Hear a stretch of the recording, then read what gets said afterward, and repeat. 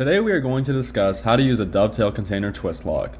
We are using the top right ISO casings. The twist lock is designed for flat surfaces and to secure a container on top. You can weld the dovetail twist lock on any type of metal surface.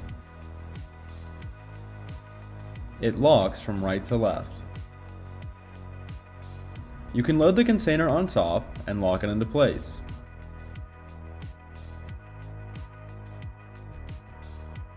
We also sell the base for the dovetail lock. These bases can either be welded or bolted onto the surface of your choice. The dovetail twist lock slides into the base and then you place the container on top.